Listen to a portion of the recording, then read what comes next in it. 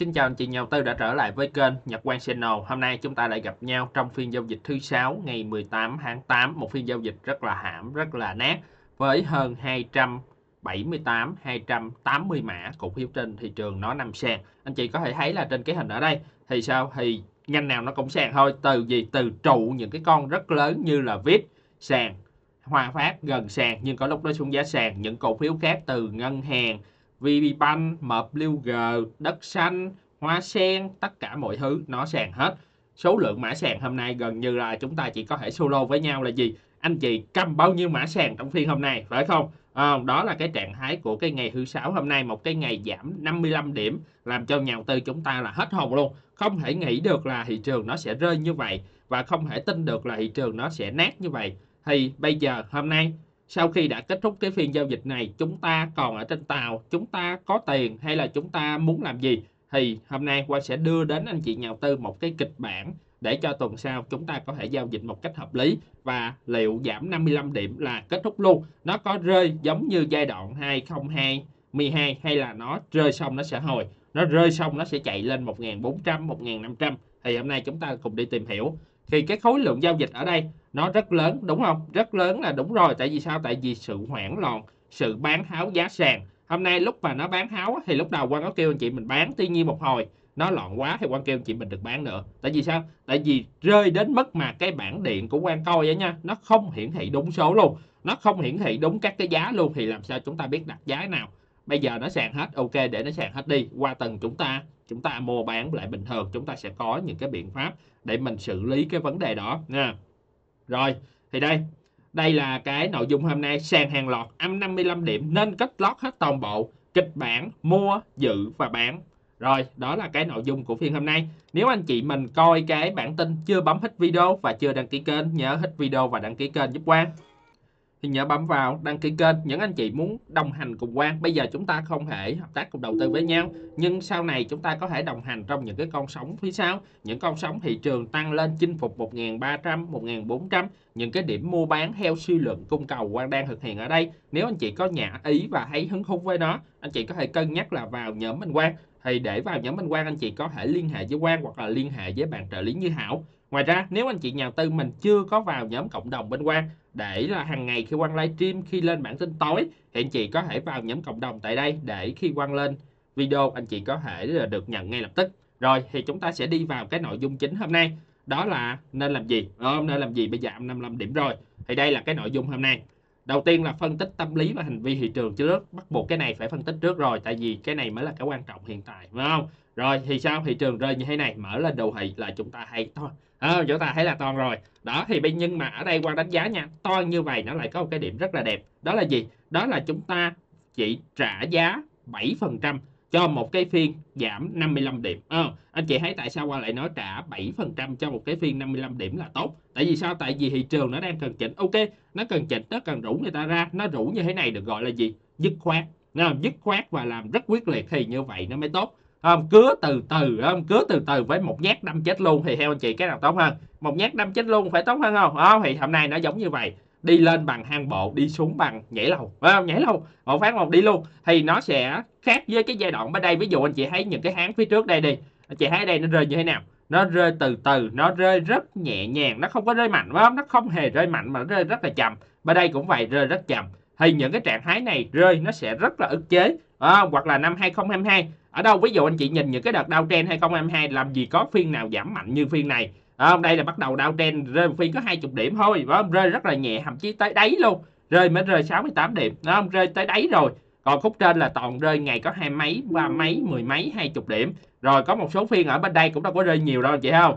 Rơi đâu có nhiều không? Cái cây ngay đây rơi cũng có ba mươi mấy điểm thôi. Những cái phiên này rơi rất là ít. Thì rơi như vậy nó rất là đau. Rơi như vậy thì cổ phiếu nó lại hồi nó rơi, nó hồi, nó rơi, nó hồi. Nó không rủ anh chị ra được. Nhưng nếu mà rơi như thế này, nó lại giống cái gì? Nó lại giống cái trường hợp ở đây. Ở đây. Ở đây anh chị thấy cây này không? Cây này rơi 56 điểm, phải không? Rơi 56 điểm là một nhịp chỉnh 200 điểm á. Chỉnh xong nó hồi rất là kinh, thậm chí là cổ phiếu vượt đỉnh luôn. Rất là nhiều cổ phiếu vượt đỉnh trong những cái nhịp rơi này. Và nhịp rơi này thường chỉ kéo dài có khoảng nửa tháng, gọi là một tuần thôi là nó sẽ kết thúc xu thế và nó hồi lên lên. Thì coi như chúng ta đang ở cây đầu tiên này đó cây upbo đầu tiên đi thì ngày thứ hai đó ngày thứ hai sẽ xác suất có một dịp hồi lớn.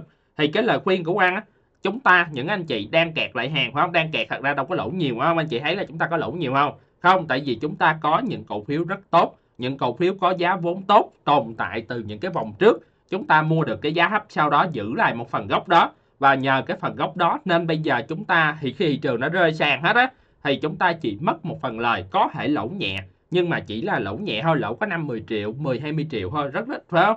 Tháng trước kiếm mấy trăm triệu tháng này lỗ có tí xíu thôi có gì đâu đó thì sao? Thì với cái việc mà nó rơi như thế này thì qua thứ hai khi mà chúng ta đi qua những cái gì? Đi qua những cái ngày mai thứ bảy ngày mốt chủ nhật có phải nếu anh chị đang thấy cái thị trường ngon anh chị sẽ cân nhắc là kiếm tiền để nạp vô mua không? Không? Anh chị vậy người khác cũng vậy ai cũng vậy thôi. Những người đang có nhu cầu bán mà bây giờ qua được cái bữa thứ bảy chủ nhật rồi tức là gì? Tức là chúng ta sẽ ổn định tâm lý lại thì chúng ta không không cần thiết phải bán nữa không? Chúng ta được tư vấn, chúng ta được ổn định, chúng ta được bơm oxy.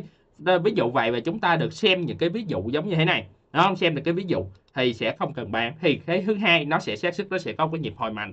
Thì cái nhịp đó, khả năng danh mục của quan hay là danh mục của anh chị đang cầm sẽ lên lại tiền lời, sẽ lên lại lời hoặc là gần hòa vốn hoặc là hòa vốn. Thì lúc đó bán 50% ra nha bán 50% ra, hoặc là bán hết cũng được. Nói chung là bán ra bán ra xong sao? Khi nó có nhịp rơi kế tiếp thì chúng ta cover lại hàng, chúng ta mua, chúng ta đầu tư tiếp bình thường nha nó cũng tương tự ở dưới đây thôi.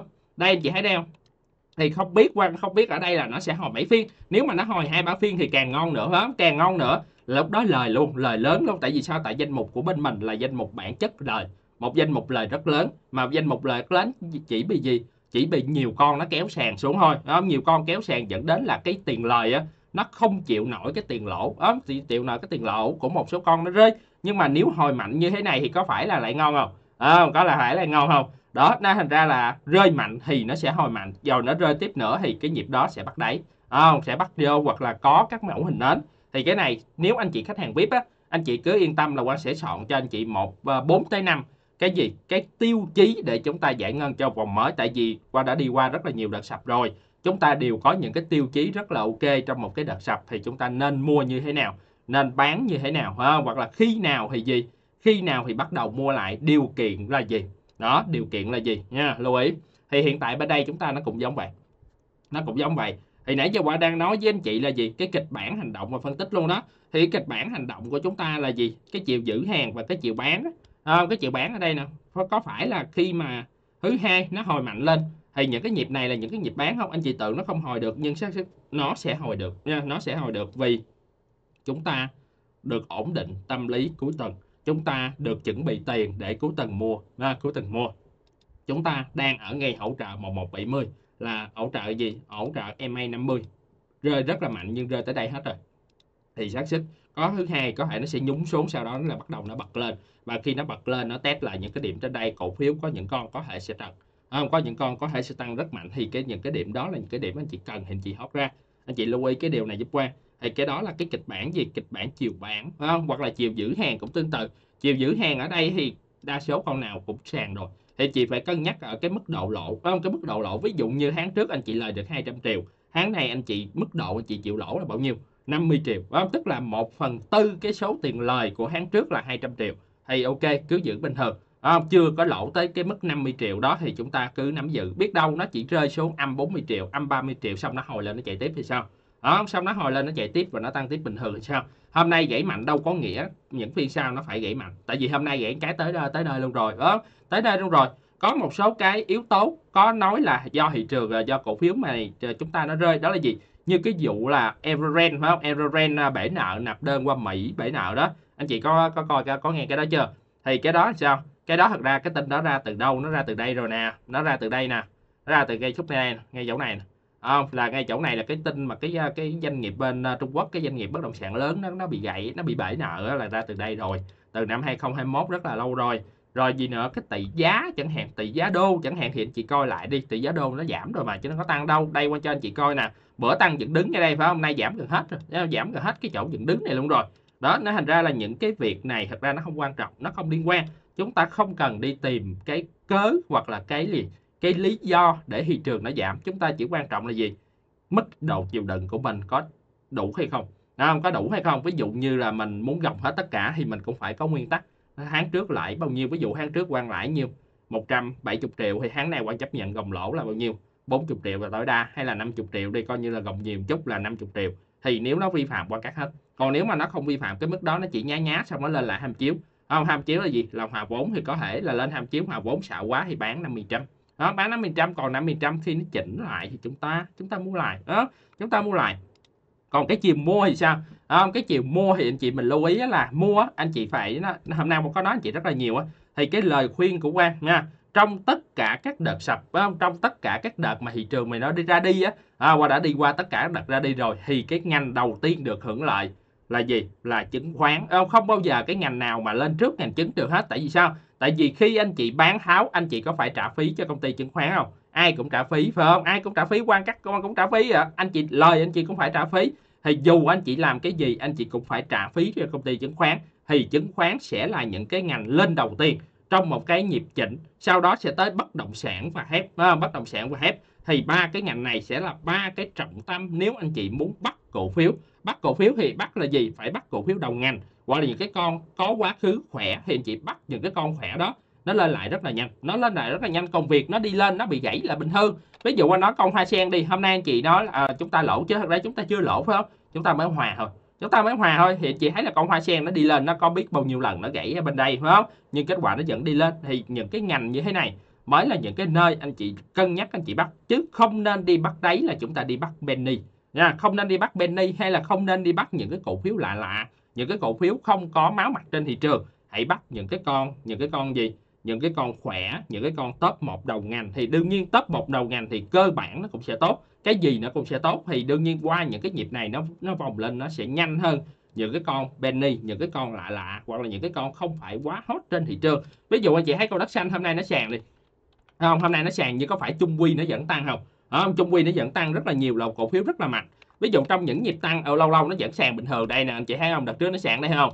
Lâu lâu nó vẫn sàn bình thường thôi sàn xong nó tích lũy vài phiên nó lại chạy tiếp. Nó lại chạy tiếp và lúc nó sàn ở đây có phải là tận thế? Lúc nó sàn ở cái phiên này có phải là tận thế không? Cũng là tận thế thôi chứ gì không có khác gì giờ đâu. Bây giờ lên trên đây sàn cũng là tận thế cũng là tận thế thôi. Nhưng mà sau đó nó xuống nó tích lũy vài phiên chạy lên. Thì khi mình bắt như vậy lỡ chẳng may mình bắt đáy mình bắt sai.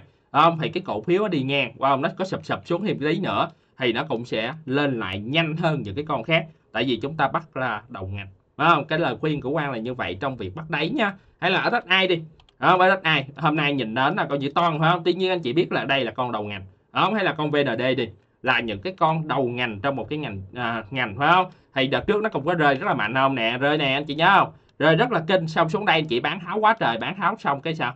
Cổ phiếu vượt đỉnh. Bây giờ ví dụ như vậy nếu anh chị bắt cái con này của quanh cái giá này có phải xác sức anh chị nó hồi và nó tăng tiếp, nó vẫn nhanh hơn anh chị đi bắt những cái con nhỏ nhỏ, những cái con gì ít người biết bên ngoài không? Đó, thì cái đó là cái chiều chiều mua, phải không? Chiều giữ hàng, chiều bán và chiều mua thì đương nhiên là gì? Ví dụ như giữ hàng thì phải tuân thủ những cái gì qua nó hồi nãy giờ đúng không? Những cái gì nói đây giờ. Rồi chiều mua thì phải tuân thủ cái gì? Là mua giá hấp. Đó là mua giá hấp qua có nói anh chị hôm nào? Khi anh chị muốn bắt hôm nay, chị bắt giá sàn, hồi chiều anh chị hỏi quan trái quá trời đó, mua con này được không em? Mua con kia được không em? Thì qua đó anh chị là gì? Bắt giá sàn nha anh chị đó, bắt giá sàn thôi đừng bắt giá khác. Tại vì sao? Tại vì cái thị trường nó đang rơi như vậy việc gì phải kê giá cao? Ví dụ như bây giờ mình chưa mua thứ hai mình mua thì thứ hai ví dụ có giá đỏ. Ví dụ như con VND đi bây giờ đang nằm sàn thì thứ hai có phải sẽ về khoảng 19.5 19.3 là về hỗ trợ đây không? Thì có phải ở những cái điểm này là những cái điểm có thể bắt không? Thì tại sao? Nếu bắt thì phải bắt hấp ở đây. À, chứ không phải thể nào lên đây đồ lên đây bắt phải không? Tức là ví dụ như thứ hai đầu phiên nó đạp mạnh đi thì những cái điểm đó là mình liều mình bắt là mình bắt ở đó chứ không phải là mình, chờ nó hồi lên, nó kéo mạnh lên 20.5 20.7 tăng 23% mới đi mua là sai. Đó không? chiều mua là sai ngay lập tức, dù anh chị mua trứng, anh chị vẫn sai. Đó. Rồi chiều bán thì sao? Bán thì phải ngược lại còn chiều mua, phải không? Chẳng lẽ thứ hai mở cửa ra cái nó rơi xuống 19.3 19.5 cái sao? Đang cầm hàng, đang cầm hàng ra, còn lời nhẹ một hàng trăm đem bán bán hết trơn. Đó bán hết trơn. Xong bán chiều nó hồi lên lại, trên đây cái đâu có hàng đâu bán. Rồi đi mua lại giá trên đây hả? À, đi mua lại giá trên đây lại gì? Lại càng chết đó lại càng chết thôi. Đó thì đó là cái gì? Cả chiều giữ chiều mua và chiều bán. Còn việc là thị trường nó rơi như vậy là tốt hay xấu thì qua đánh giá là tốt nha. Qua đánh giá là tốt một nhịp rủ rất là nhanh. Và rủ như vậy thì nó lại gì? Nó lại ép anh chị nhà đầu tư chúng ta ra nhanh hơn. À, ép một cái một là chạy hết trơn rồi. Chạy hết xong thì sao? Khi à, cầm tiền cầm lực hàng ở dưới đây thì nó lại bắt à, thị trường nó đi lên lại. Thì chúng ta sẽ có những cái bộ quy tắc để bắt lại cổ phiếu mới à, trước mắt thì nó vẫn còn rất loạn để chúng ta bắt sớm. Nhưng mà nếu mà mình tự cược nha ở đây quan phải nói rõ là chúng ta tự cược để canh mua thì chúng ta phải chấp nhận những cái điểm rủi ro. À, chấp nhận những điểm rủi ro tại vì bây giờ chúng ta chưa có mô hình để mua. Rơi như thế này đâu ra mô hình. À, rơi như thế này đâu ra mô hình. Ví dụ anh chị nhìn nè, hôm nay chắc là chỉ có mỗi con Vietcombank là nó xanh không phải không? Nhưng mà thật ra cái con này là cái điểm rất là hay. Tại vì sao? Tại vì nếu con Vietcombank ở đây mà nó vượt qua giá 90.5 nha thì anh chị có thể tin tưởng là thị trường này sẽ không có vấn đề nha vượt qua 90.5 và kéo tiếp. Hôm nay Vietcombank là có muốn kéo rồi phải không? Đó thì nó qua được 90.5 là mọi thứ ok. Tại vì đây là một cái con đầu ngành của ngành ngân hàng lớn nhất phải không? Thì nếu mà con này chạy tiếp là thị trường mình nó ổn. Thị trường mình nó ổn. Thì những cái con kia mất 7% thì từ từ nó cũng lấy lại. Đó, từ từ nó cũng lấy lại thôi. Đó thì cái đó là cái góc nhìn của quan nha. Còn à, cái phần gì? Phân tích các ngành nghề. Thật ra bây giờ ngành nào cũng sàn. Tất cả các cổ phiếu cũng sàn như nhau phải không? Quan chỉ nói cho anh chị coi chị anh nhìn mấy con này coi à, Vibank vì à, Vibank đúng nghĩa là gì? Lên à, lên gì? Lên tốn mấy tháng trời rồi đúng cây. Rồi đúng cây hay là gì? Tiên phong banh cũng vậy phải không? À, ngành nào cũng vậy thôi. Qua sẽ cho anh chị mình coi sơ qua con nào cũng vậy phải không? Con nào cũng vậy ngành nào cũng vậy thôi. Đó. Đây tương tự phải không? Tương tự phải không? Đâu khác gì đâu phải không? Anh chị coi thử đây là thép nè phải không? Dầu khí BLX ở BLX còn thảm hơn nữa phải không? Đây um, OI nè. Ờ, OI đi lên và bao, bao nhiêu cây xuống bằng đúng một cây luôn phải không?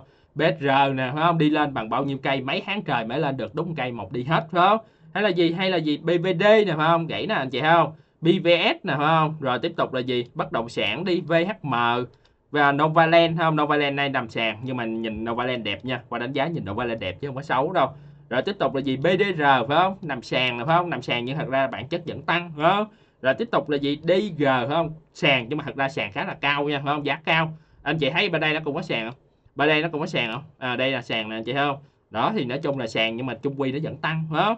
Hay là gì? Hay là nhờ HDC DG đầu đất xanh nó cũng sàn đó. Nhưng mà nhìn ở đây qua đánh giá nó siết cung lại nửa tầng là nó sẽ lên tiếp. Đầu tư công khu công nghiệp nói chung là nhìn sơ cho anh chị coi sàn hết đó không? KBC hôm qua tưởng mạnh này sàn luôn không? Xả quá trời xả luôn. IDC ồ con này anh chị thấy nó còn kinh hơn những cái con nãy giờ tại vì sao? Tại vì chị nhìn con IDC nó bị một cái vấn đề gì? Đó là con này nó lên nó kẹt quá trời kẹt nhà đầu tư không lên được. Và có nói anh chị con IDC rất là khó đánh. Thì đợt này nó sẽ lợi dụng nó rủ anh chị ra hết luôn. Nó rủ anh chị ra luôn một cây một như thế này bằng mấy tháng trời tăng phía trước. Thì một cây một nó làm cho anh chị mình phải cắt lỗ hết cắt xong rồi nó lên lại rất là nhanh nha. Rồi tiếp tục là gì? À, cổ phiếu à, đầu tư công đi HHV không? Đi nguyên cây sàn luôn nè chị không? Đổ quay không được nổ hoài không được thì đợt này lợi dụng thị trường xấu, đạp luôn một phát một, rơm rơi xuống đủ biên độ, đủ thứ. Là dòng sau nó sẽ chạy rất là mạnh dòng sau nó sẽ lên rất là mạnh. Nói chung là sprint đó không? Nghĩ nên rủ đó. Hay là gì? CI nè, phải không? Đợt trước tăng trần bên đây hôm nay vẫn sàn, nhưng mà chung quy từ đầu tới cuối con này vẫn tăng, phải không? Anh chị coi kỹ là con này có phải là từ đầu tới cuối con này vẫn tăng không? Không? Dù à, dù gì, dù có xấu cỡ nào, đây ví dụ anh chị nhìn lại đi, đây có phải là gãy lần đầu không? Gãy tiếp gãy tiếp gãy tiếp, phải không? Gãy tiếp gãy tiếp nói chung á là quá trời đợt gãy luôn nhưng chung quy cổ phiếu vẫn tăng bình thường đó vẫn tăng bình thường. Thì chúng ta phải có cái góc nhìn theo nó, nó sao? Nó ổn định một tí chứ mình không thể nào là gì? Mình không thể nào là bây giờ hoảng loạn theo sự hô hào ở trên mạng phải không? Theo sự hô hào rồi chửi qua chửi lại hay là gì? Hay là ức chế rồi cọc cằn? Nói chung quá là khi chúng ta mất bình tĩnh chúng ta sẽ dễ xử lý sai. Ví dụ như ức chế quá bán hết vừa bán xong nó tăng. Lúc đó lại mình sẽ bị cuốn theo cái vòng xoáy là gì? Phải mua lại ngay, và mua lại ngay thì sao? Cái nó giảm. Nó giảm lại ức chế, lại lỗ nữa. Nói chung là một cái vòng xoáy thì chúng ta sao? Chúng ta lỡ kẹt trong cái vòng xoáy đó thì chúng ta phải cố gắng đi ngược theo cái xu thế. Ví dụ như khi nó sao? Nó giảm rất mạnh thì muốn thì mua ở cái lúc đó đó. Đừng có chờ cái lúc mà nó kéo mới mua. Ngược lại, khi mà chúng ta muốn bán thì lúc nào mà nó kéo rất mạnh trong cái nhịp hồi á. Bán ra cái lúc đó đi. Đó, bán ra cái lúc đó đi. Còn giữ hàng thì phải tuân thủ đúng nguyên tắc đó. ví dụ như đã nói là, ok, tôi chấp nhận lỗ tới cái mức này thì tôi bây giờ tôi cứ cầm cầm tới khi nào lỗ thì tôi mới bán còn không lo mất tới cái mức đó thì tôi không bán. Đó thì chúng ta phải tuân hữu đó phải tuân hữu những cái đó thì chúng ta mới đi qua được những cái lúc hoảng loạn như thế này. Để có những cái giai đoạn phía sau nha những cái giai đoạn gì? Kết thúc quý quý 3 phải không? Kết thúc quý 3 bây giờ chúng ta mới có giữa tháng 8 thôi. À, tháng 9 rồi tháng 10 tháng 10 mới là tháng tổng kết. Ví dụ như thị trường bây giờ nó rung lắc xong hết cái tháng 8 cái bắt đầu nó có cuộc sống mới nó chạy lên 1.300 1.400 rồi cuối tháng cuối quý ba sao? Đó, hoàn toàn có thể diễn ra nha hoàn toàn có thể diễn ra. Những cái chính sách ở Việt Nam vẫn đang rất tốt những cái việc hạ lãi suất đồ đó vẫn đang rất tốt. Tuy vẫn còn một số cái vấn đề giống như tỷ giá rồi đó nó đang kéo nhưng mà nhà nước mình thì qua vẫn tin tưởng là sẽ có những cái biện pháp để xử lý. Thật ra tỷ giá đang giảm rồi đó. Không? Thì đi lên chỉnh chỉnh xong thì lại lên tiếp phải không? Bây giờ không thể ai cùng lúc nào chúng ta cũng có thể bán đúng đỉnh và mua đúng đáy. Miễn sao chúng ta tuân thủ các kỷ luật là được rồi nha. Rồi và ngoài ra một cái điểm cuối cùng trong cái bản tin hôm nay quang muốn nói với anh chị nhà tư đó là gì? Đó là anh chị mình chú ý à, hôm nay á, anh chị thấy cái lúc mà 13 giờ 40 13 giờ 50 trở đi khi cái thị trường này nó rơi á thì nó có cái điểm gì? Là nó nó đờ. Không? Anh chị thấy là lúc đó anh chị nhập lệnh có được không? Có nhiều anh chị báo quan là nhập lệnh không xong không? Nhập lệnh xong nó nhảy tùm lum hết. Không? Là chúng ta sẽ rất khó xử lý cổ phiếu khi nó bắt đầu rơi. Kiểu như thế này không? Lâu rồi mới có như thế này. Có nhiều anh chị chưa bao giờ trải qua một cái phiên như thế này thì anh chị sẽ nói một điều đó là à, nó cái giá chúng ta sẽ không bao giờ bán được giá tốt là thứ nhất. Thứ hai là chúng ta không đủ thời gian. Không? Có có phải chính xác cái điều này không? Chúng ta không đủ thời gian để xử lý. Nếu chúng ta giữ quá nhiều cổ phiếu trên 10 cổ phiếu trên 20 cổ phiếu 30 cổ phiếu thì sao? Thì những cái phiên này chúng ta chấp nhận chúng ta giữ hết. Không? Nhưng nếu anh chị chỉ giữ 4 năm cổ phiếu thì hoàn toàn vừa có vấn đề cái anh chị vô anh chị bán một hay con là anh chị có thể làm kịp ngay lập tức. Không? có quyết định có làm hay không? Nhưng quan trọng là gì? Giữ ít thì sẽ dễ quản lý và những cái phiên như thế này thật ra không không bị lỗ quá nhiều. À, tại không không gì giữ ít con thì nó đâu có vấn đề tới mức như vậy đó đó thì cái này là một cái bài học thôi nha. Cái bài học về việc giữ số lượng cổ phiếu nhiều hay ít. À, giữ nhiều hay ít còn việc phân bổ tỷ trọng thì quan có nói anh chị ở những cái bản tin tối phía trước rồi. Thì cuối, cuối tuần này thì quan chỉ là tư vấn anh chị mình như vậy thôi. Tại vì sao? Tại vì thật ra con này nó cũng sàn thì nếu mà mới đi qua cho anh chị coi con nào nó cũng giống nhau thôi miễn là sao? Miễn là chúng ta tuân thủ là được rồi tuân thủ những cái mà mới nói ở đây nè. Đó những cái là giữ hàng chiều mua chiều bán. Thì quan vẫn còn gặp lại anh chị nhà tư chúng ta vào buổi tối thứ chủ nhật vào 21 giờ 30 thật ra 21 giờ 30 gặp nhau cũng đang suy nghĩ là không biết nói cái gì. Với anh chị ví dụ anh chị hỏi SSI bây giờ sao em? Đương nhiên SSI vẫn phải nói là anh chị giữ bình thường phải không? Khi nào nó lũng ở đây thì bán phải không? Còn trường hợp nó không lũng nó hồi lên nó tích lũy bên đây ok đó là chạy tiếp. Đó, ok đó là chạy tiếp. Nhưng ví dụ trường hợp con visa thì sao giờ gãy như thế này có phải là thứ hai phải hồi lên không? Hồi lên test lại ok vậy tiếp. Không ok lại gãy tiếp. Thì khi nó hồi lên phải bán 50 trăm hoặc bán hết đó. nói chung là cái tư vấn thiệt thật ra cái con này nó cũng giống con nào thôi. Do cái trạng thái thị trường này nó như vậy. Nhưng mà qua sẽ cố gắng là bữa chủ nhật sẽ sắp xếp về livestream với anh chị nhà đầu tư. Những anh chị mình à, xem video á anh chị chưa có vào nhóm Minh Quang thì nhớ vào nhóm Minh Quang để khi Quang livestream á thì nó sẽ à, bạn trợ lý á, sẽ thông báo cho anh chị nhà đầu tư trong nhóm Minh Quang để anh chị mình có thể là vào coi livestream và đặt những cái câu hỏi ha. rồi thì nói chung là hôm nay là như vậy thôi. À, một phiên giao dịch nó một phiên giao dịch à, ghi nhớ nha đáng nhớ không phiên giao dịch rất là đáng nhớ. Rồi xin chào anh chị nhà đầu tư chúc anh chị một buổi cuối tuần thư giãn nhé thư giãn chứ không phải là chúng ta cố gắng làm mình hoảng loạn lên càng hoảng loạn quyết định càng dễ sai thôi. À, rồi xin chào anh chị nhà đầu tư.